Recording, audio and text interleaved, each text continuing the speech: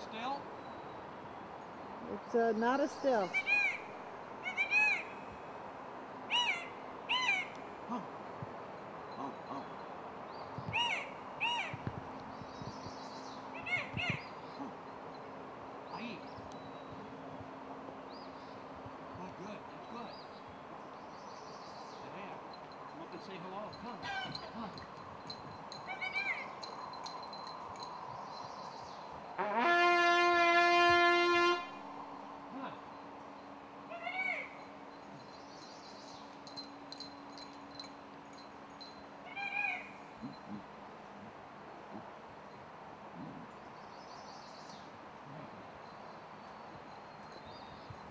Son and wife of my stallion, the survivors.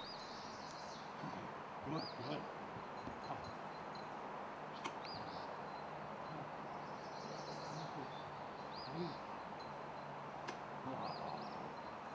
Thank Hello, this is Emily Peyton with Organic Politics from the Ground Up. We're here with Frankie Bra- Blake at Hello. his animal sanctuary. And we have some issues here that we're uh, trying to cope with of a, of a hostile takeover. Um, could you uh, speak to the people of Vermont and tell them what it is you do, Frankie? I, I'm a shepherd for animals. I take, I, I uh, feed animals. I've had, uh, my father was induct, inducted into the Hall of Fame of racing. I was on in Saratoga and Foxborough. We were on the road all our lives with our racehorses. My parents are dead now. I'm, I'm a USTA licensed uh, uh, uh, standard bred driver, uh, and my trotter is dead. So I'm now here. I came here. I was given the opportunity to stay here with a family, and as soon as I got in here, they, the town told me that it would be coming up for auction. You were saying, Frankie, that you've been paying taxes for five years on Yes, this every month. Yes, you have. In the and your desire is to live your entire life. You're the most athletic person I've ever met. There's no reason you can't live to 103. Thank you. I figured two or three hundred. I expect a long, long, long time. 'Cause I have to serve people and animals. So you are uh, a happy neighbor, Jesse. Yes, yes. And, Frank is one of our neighbors. and um, can you describe for our viewers in Vermont uh, what it is that's here and why it's special and why we need to keep it? Well, Frank is a wonderful neighbor. He's very kind, he's very generous, and Yeah. he's an important part of our community. And he does wonderful things for the animals. So we're we, he's uh, he's a piece of the fabric here. Right. So it's important that we as a community in Vermont stand up for each other, uh, particularly when out of staters come and decide to just eject us and inject their own suburbia type mentality, which is to remove animals, remove people who are linked with nature, and just make them non existent. So we're asking for your support. We're going to need support to stop the threatening things that have been happening through this man. What's his name? Mayo. Mayo. Yes. Melvin Mayo. Mayo. Melvin Mayo needs to stop threatening Frankie Blake. We need to get this piece of property into Frank Blake's hands for good.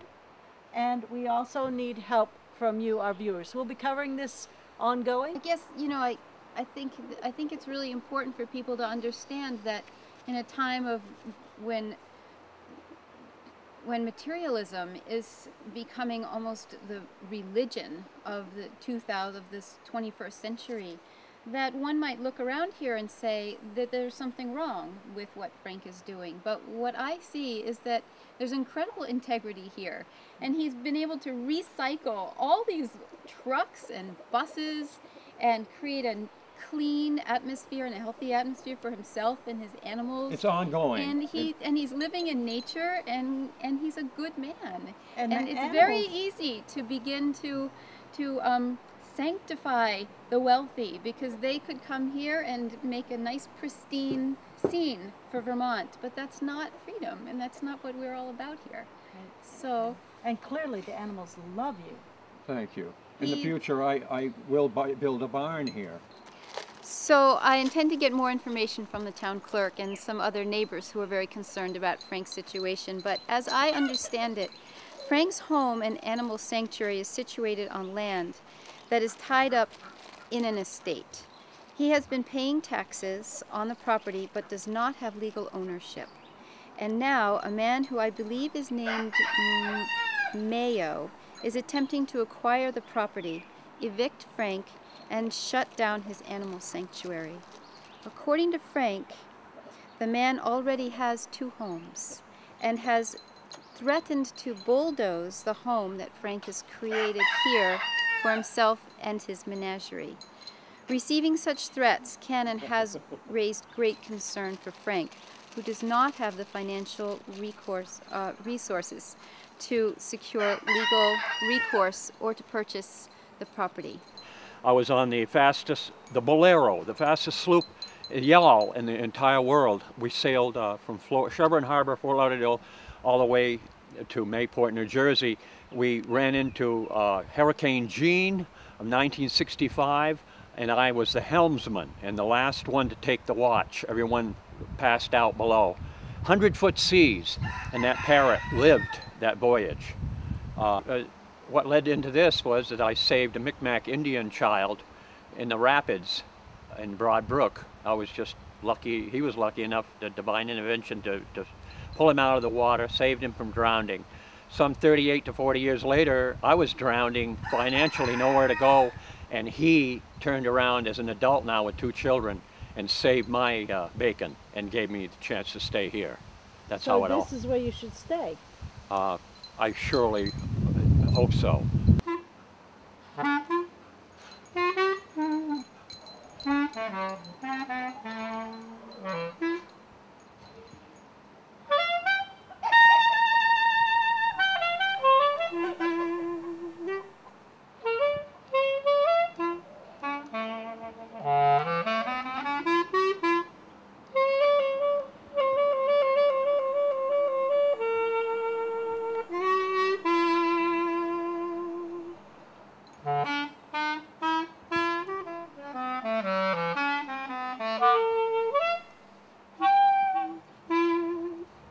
I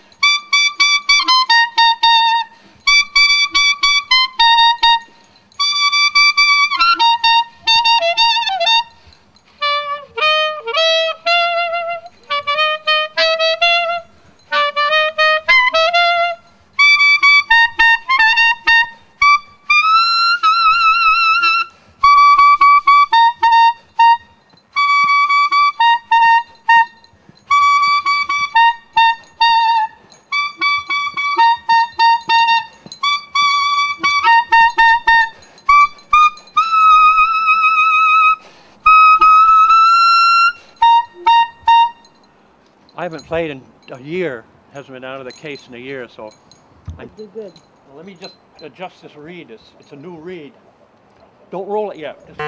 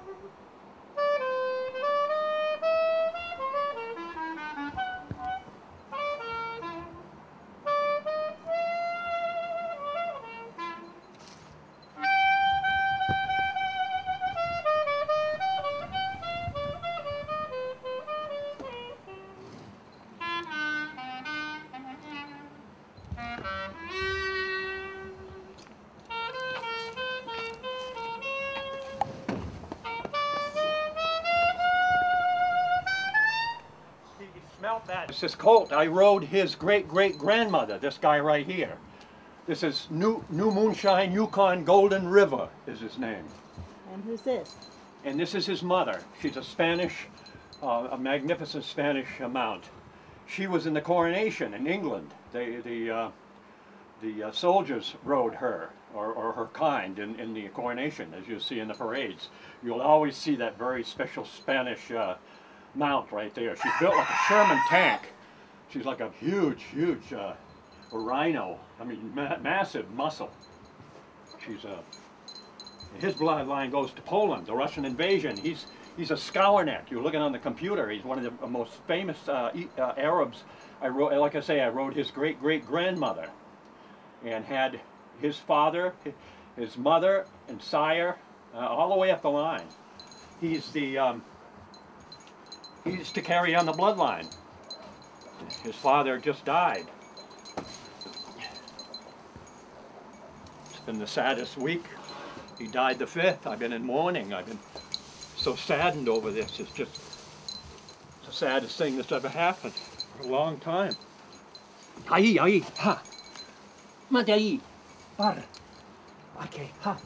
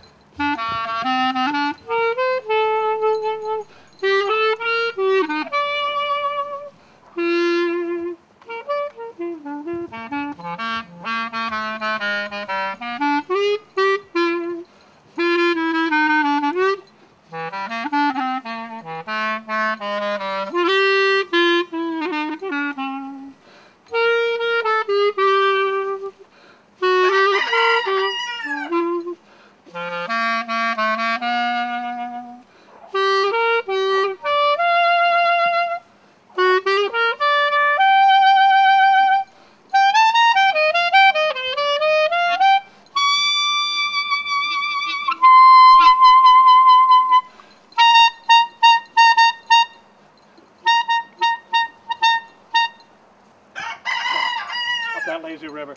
I gave just a few different uh, tunes intertwined. I go, I can go on for thousands of tunes. I know all the black books, standard books by memory. I've been playing since I was 12. They dressed me up in a dark suit. And back then, years ago, when I was a child, they had me in Grange halls and uh, moose halls and square dances. And uh, they'd, they'd sneak me in the back door because I was so young. And uh, those were my gigs at 12 years old. Um, and then I played with Sam Andrews, the Brother Nolan Company, for four hours at uh, Windham College. Uh, I had the honor of jamming with him. He said he'd tape with me anywhere in the world. He's still alive, Sam Andrews. Sam Andrews is the uh, lead player. He play, I played then a black and white guitar. I, um, I warmed up for Jerry Lee Lewis, Wedgewood Park, Oklahoma. Uh, Wedgewood Park, Oklahoma people were the most beautiful people in the world to me. All the girls uh, chauffeured me around in a white, well you put a, put a zip on your beak. They chauffeured me around uh, Oklahoma City in a white Cadillac. Uh, I had a parrot on my shoulder I toured with. I played for Frankie Valli at the Capri Club in Philadelphia. Uh, he sat in the audience. I sat with his band. He loved me. He was, a very compassionate man. Frankie Valli is a great, compassionate guy. I've uh, met Duke Kahanamoku in the Hawaiian Islands before he died. I said, you have the biggest, biggest nose, the bluest eyes, and the whitest hair I've ever seen in anybody in my life. And he laughed. Duke Kahanamoku, what an honor that was. And I saw Art Linkletter and his wife at the same time that same week. That's the mother in the background, Mother Goat. And this is Paleface, the one in the front. I called her Paleface because she ran around the property with a pail hitched uh, around her head, horns. And I, I took it off her head and called her Paleface. And that's uh, Pony Boy. He gets out later and has his run. Uh, he, he was an exhibit at Santa's Land. I had a 30 deer. I was, uh, uh, as a musician there, and then uh, the deer were to, they couldn't get darts into them for inoculation. They had a mile to run, and so they, they were going to market them and, and uh, for food. And the vets, state vet, and they all walked. And I, I got back to the office and begged them if I could tame the, the herd and get them into a circle. And it took me the winter. I did. I, I threw a buck and a doe, and I have photos of kissing both of them.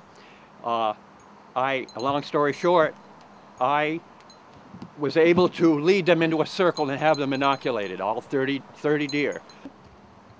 A lot of times she'll come up and let me pet her and tickle her neck and face. Oh, baby, oh, baby. So she's been with me now since 02. And very, very gentle, very, very, but um, when they're cornered and you grab their legs, uh, she can pull your hands right out at the wrist. It takes a long time to heal. Uh, they're so powerful with those legs. But when you move them, you have to get behind them and uh, put your arms around them and then lift them, lift them up against you when their legs are out and then uh, load them when you're moving them. Very difficult to move them. It's risky. It's a matter of life and death. They're so powerful. But they, uh, the great great grandmother of this one, these goats, is, uh, are, is on the bus uh, fighting for her life. Uh, I'm up day and night with her, getting her through pneumonia. I've had the fires going and, and she's there now if you'd like to see her. This is my hospital.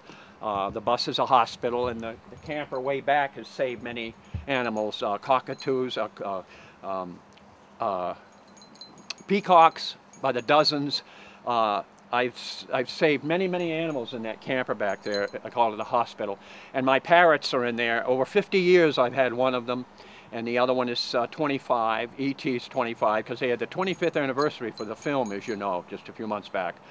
And um, then I have uh, pigeons from uh, Italy in there, Italy, Italy around, surrounding me in there, and they coo me to sleep. Uh, and I have a hen and rooster that was given to me from the uh, uh, Pam McFadden from the town office gave me a hen and rooster. And they lay my breakfast. Even before I go outdoors, I have eggs to eat. And then the ducks, uh, uh, Mrs. Momini gave me two ducks, and they lay me two eggs a day now. And uh, with a little rice, I have my meal. This is where I stay to watch over the sick. And I cover these windows to, uh, for, for lately that I don't want someone to know that I'm sleeping in here because they could easily uh, shoot me going by. I call it the shooting gallery. So you're they that used to scared, shoot. You're, you're that scared of this. Uh, Oh, definitely. this- When I first moved in, they used to shoot uh, BBs, uh, plastic BBs at my horses, and then I got those huge big uh, tarps from the mill, and, and felts, and covered the front of the stalls, Yeah, and there'd be yeah. BBs in the morning. Wow. how, yeah. how about uh, this Mayo guy? You scared of him? Male, uh, I, I don't trust him at all. He's he's probably the most crafty person that I've ever met. He's cold-blooded, and uh, I wouldn't put anything past him. He, he when he first met me, he says, uh, "You you belong in a home, uh, and I And want the property, and you bel you don't belong here." And You said he threatened you with a bulldozer. no, but he's he's uh, he's going to vamp this. He's going to just. No, uh, you. He's threatened to. He's threatened to, to tear down everything on oh you? yes, yes, oh so yes. he's going to come back with a bulldozer? With, yeah, without any question at all, he's going to take. no, he, he said he's going to. he said he's going to when and, he gets. and we're not going to let him. I, uh, um, to serve papers, I, I, I, this, everything's paid for here. All this, uh, everything is paid for, and, and uh, I want to stand strong for it and keep it safe. Uh, we'll open this for her. Remember. There we go. Whoops. Anyway, that's. Is she? How is she doing? And uh, okay, as you'll see, hi sweetheart, good company. So as Hello, you see right here, in. you- that's crimped oak you're stepping over. I got all the grain in here. There she is in her. She's doing well. You don't hear much of a rattle. So all the pneumonia and the fluids from her lungs have subsi- subsided.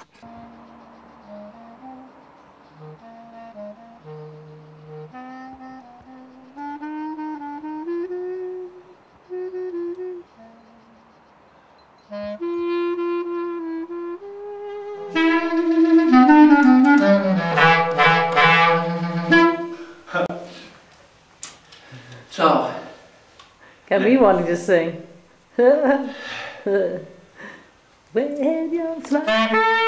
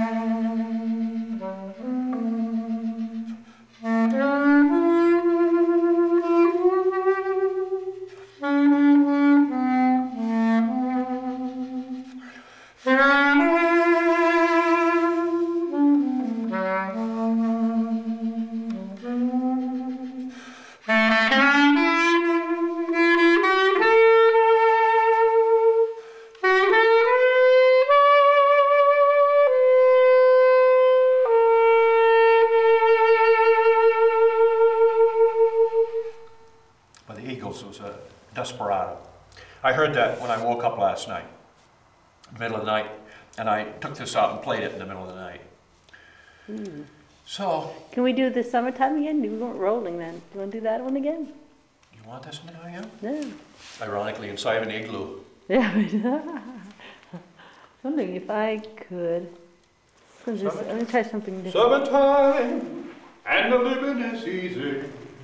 Fish are jumping, and the living. God inside.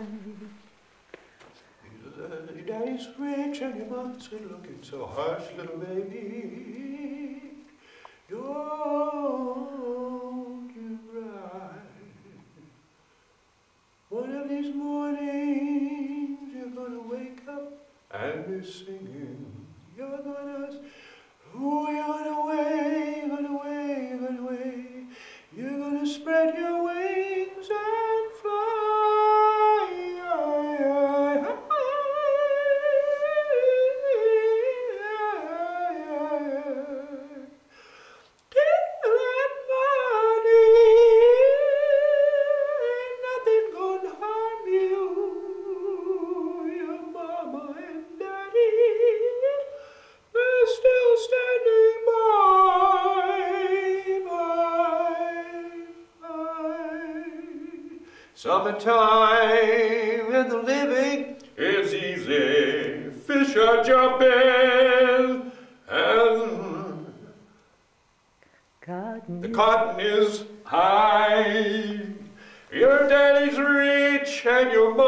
Good looking. So hush, little baby, don't you cry. One of these mornings, you're gonna wake up and be singing. You're gonna spread your wings and you'll fly to the sky. But till that morning, ain't nothing gonna harm you. Your mama and papa, they're, they're very much alive.